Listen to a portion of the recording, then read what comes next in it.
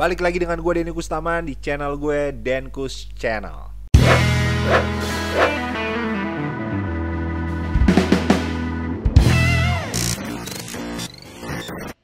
Kali ini gue mau informasin sama lo Cara jadi youtuber pemula. Ada beberapa faktor untuk lo harus ikutin Tahapan-tahapan yang lo perlu tahu Sebagai youtuber pemula. Oke, ada 10 hal yang perlu lo tahu Cara jadi youtuber pemula Yang pertama Yang pertama adalah Kenapa lo harus punya channel youtube Itu yang pertama Lo harus tahu jawabannya dan hanya diri lo yang bisa jawab. Ketika lo udah punya jawaban itu, berarti langkah pertama sudah lo lewatin. Kenapa hal itu penting? Karena lo perlu tahu dulu dari awal alasannya apa. Lo punya channel YouTube, lo mau jadi YouTuber, awal yang paling pertama adalah itu. Ketika lo tahu pentingnya kenapa lo harus punya channel YouTube, lo akan lebih fokus lagi seperti contohnya, alasan gue bikin channel YouTube kenapa? Karena sekarang eranya sudah digital.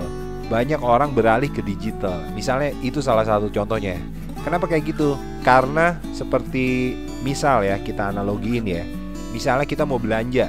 Sekarang gue udah nggak perlu harus datang ke toko untuk mendapatkan sesuatu barang yang kita inginkan. Gue tinggal buka handphone, masuk ke all shop, gue tinggal cari barang-barang yang gue mau, dan gue langsung tinggal klik beli di situ dan barang datang ke rumah gue tanpa harus repot-repot mencari barang ke toko atau ke pasar tertentu.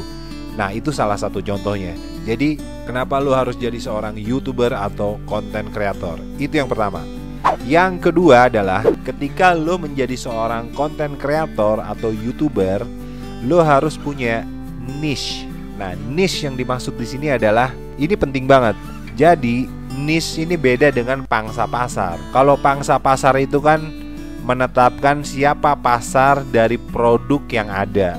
Nah, kalau niche di sini urusannya lebih ke personal ya. Misalnya lu uh, lu hobinya sebenarnya olahraga, lu seorang olahragawan atau lu seorang atlet.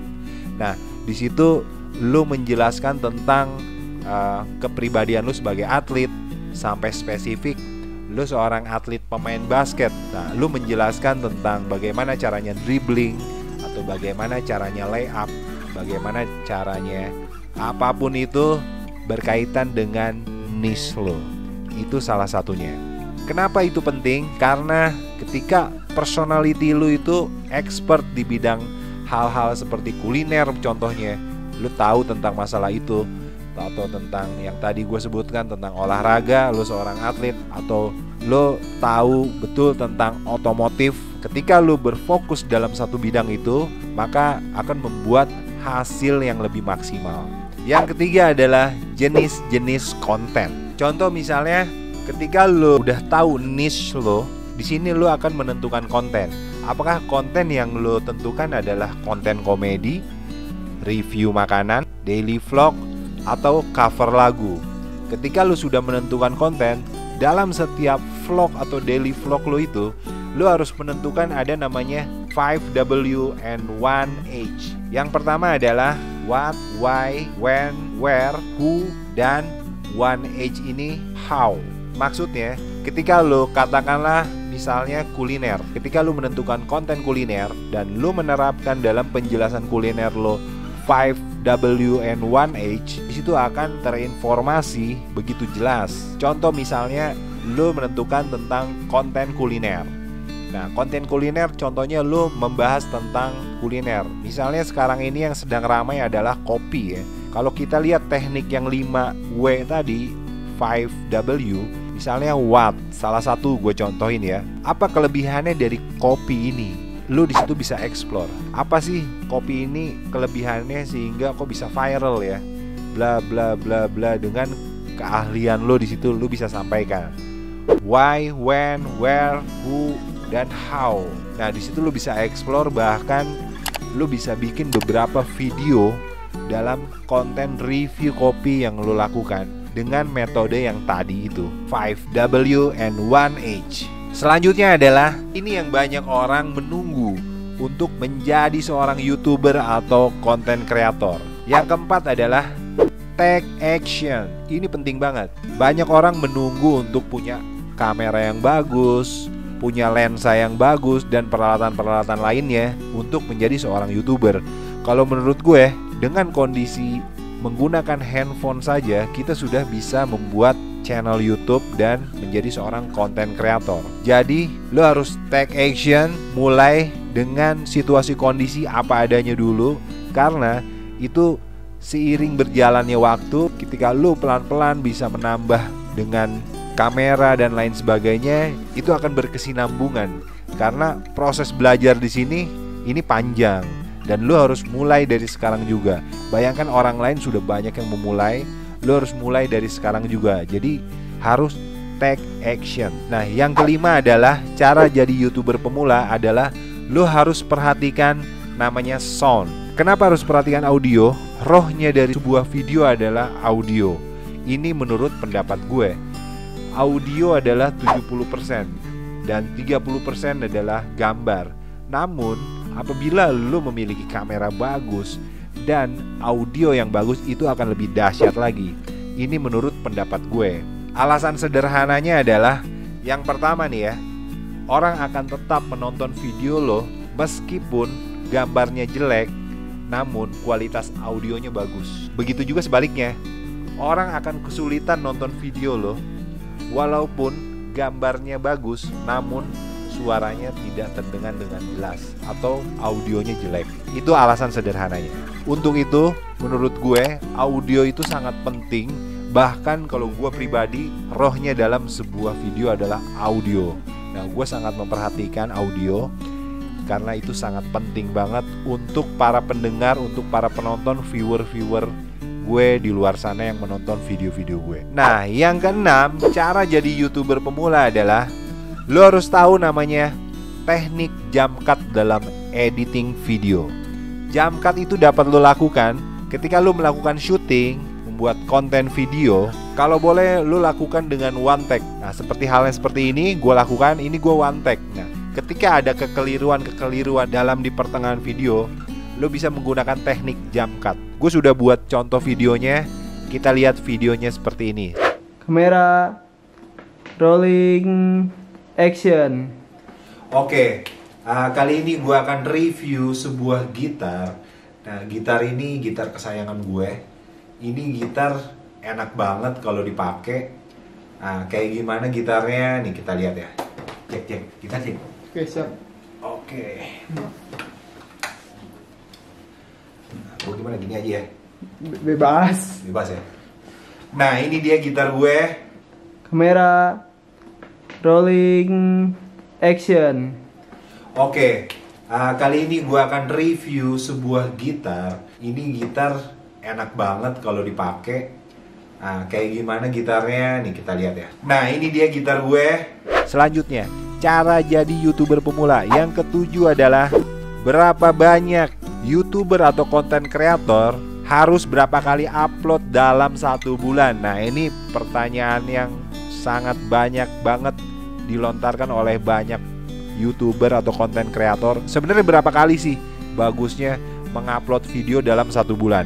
Jawaban rata-rata banyak orang ada dua. Yang pertama harus sering. Yang kedua nggak perlu sering. Yang penting sekalinya upload videonya bagus. Itu sudah umum banget. Nah, kira-kira lo semua milih yang mana? Sering upload atau jarang upload dengan catatan kualitas videonya bagus. Di sini banyak statement. Kalau bicara hal ini memang banyak sekali statement orang. Ada yang bersikukuh mereka beranggapan gua harus setiap hari upload atau bahkan sampai sehari dua kali pun ada atau mungkin seminggu dua kali juga ada. Kalau menurut gue seminggu dua kali sudah cukup sering ya, sudah bisa dibilang konsisten atau bahkan seminggu tiga kali itu udah bagus ya. Nah, gimana kalau misalnya ada youtuber yang dia nguploadnya hanya sebulan sekali, tapi sekalinya upload dia punya kualitas video yang bagus. Tapi di sini gue menentukan bahwa menurut pendapat gue kuantitas lebih baik daripada kualitas. Tapi tunggu dulu. Di sini maksud gue adalah bukan berarti gue hanya mengedepankan kuantitas tanpa memperdulikan kualitas. Salah. Gue tetap memperhatikan namanya kualitas video itu sangat-sangat gue perhatikan. harus informatif setiap video-video gua. Gambarnya harus bagus audionya harus bagus. Sampai dengan tata cara pengeditannya harus bagus. Selalu gue perhatikan. Namun kuantitas di sini jauh lebih penting juga. Kenapa? Karena kita kaitannya dengan algoritma YouTube dan sistem YouTube ini sendiri memang sekarang ini akan lebih baik apabila kita sering mengupload video artinya konsisten dalam mengupload video. Cara jadi YouTuber pemula adalah yang kedelapan. Lo harus punya role model. Ini penting banget. Lo tentuin YouTuber di Indonesia ini siapa sih yang lo suka. Nah, kalau boleh lo punya tiga role model yang lo suka. Dan di situ lo punya guru untuk menjadi pembimbing lo. Konten-konten yang dia upload dari role model itu dari tiga role model itu lu bisa perhatikan bisa pelajari cara dia ngambil gambar cara dia menampilkan video-videonya dengan pengeditannya. Di situ lu bisa punya guru untuk tampilan sebuah video sampai dengan cara dia membawakannya informasi-informasi apa yang dia sampaikan dari opening dalam membawakan kontennya sampai dengan closing di situ dari kata per kata lu bisa lu bisa pelajari. Tidak hanya itu, lu juga di situ bisa belajar seperti apa sih role model gue membuat videonya. Intinya lu bisa punya banyak referensi dari video-video yang mereka upload. Nah, kenapa gue gue minta lu untuk harus punya role model minimal 3 dari youtuber Indonesia karena lu kan seorang youtuber dan lu menginginkan menjadi sebesar mereka Katakanlah contoh Raffi Ahmad yang lo ikuti atau Deddy Corbuzier yang sekarang sudah hampir 10 juta subscriber. Nah, otomatis lo ingin bisa kalau boleh setara seperti dia kan. Nah, apa yang dia lakukan? Ternyata dia upload setiap hari. Nah, kalau lo nggak bisa upload setiap hari, minimal lo upload bisa seminggu tiga kali atau mungkin dua kali. Jadi intinya role model itu bisa menginspirasi lo dalam lo membuat konten. Intinya di situ. Oke yang kesembilan nih penting banget menurut gue Cara menjadi youtuber pemula adalah Lo harus tahu YouTube adalah penonton buta. Nah maksudnya apa nih YouTube adalah penonton buta? Kita banyak banget untuk youtuber pemula khususnya pasti ngejar viewer kan. Nah gimana sih caranya YouTube merekomendasikan video kita agar ditonton banyak orang Nah YouTube itu adalah penonton buta Dia hanya melihat dari sistem Makanya, kenapa gue bilang tadi kuantitas lebih penting daripada kualitas? Selain daripada sering mengupload, kita harus relate antara judul video dengan isi video. Kita harus perhatikan juga tag dan juga deskripsi. Jadi ada empat itu yang perlu lo perhatikan dalam membuat video. Karena YouTube dia akan melihat hanya dari secara sistem, sehingga video lo itu nanti akan direkomendasikan dan orang akan menonton video lo.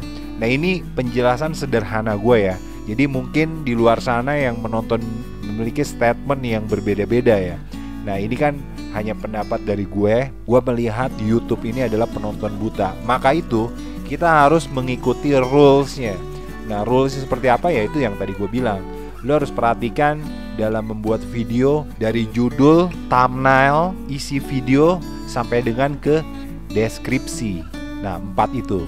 Karena itu akan berhubungan ketika nyambung semua itu dan pas dalam lo membuat kata per katanya itu pas, maka di situ akan ada potensi untuk YouTube merekomendasikan video lo agar bisa ditonton banyak orang.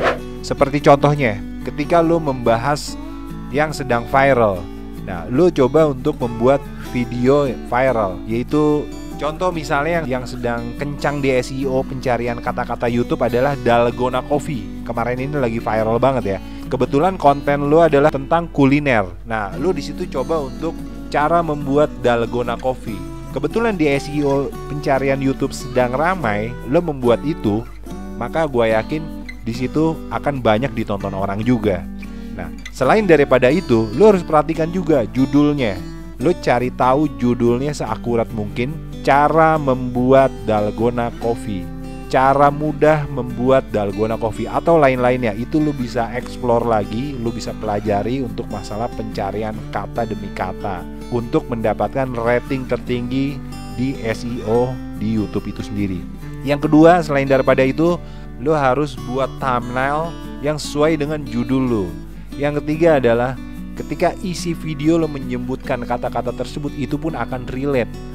Yang keempat adalah di deskripsi lo harus menyebutkan juga isi dari judul tersebut sehingga relate juga dengan konten lo itu. Dan kaitannya dengan YouTube adalah penonton buta, yaitu seperti itu. Ketika lo sudah menciptakan sebuah video dengan judul, thumbnail, deskripsi dan isi video yang sama seperti sedang ramai diperbincangkan oleh banyak orang yaitu Dalgona Coffee, tidak menutup kemungkinan YouTube akan merekomendasikan kepada orang-orang yang suka menonton video YouTube tentang Dalgona Coffee. Nah jadi itu yang kesembilan itu sangat-sangat penting menurut gue. Lo perlu tahu YouTube adalah penonton buta maksudnya itu Karena YouTube hanya melihat dari sistem.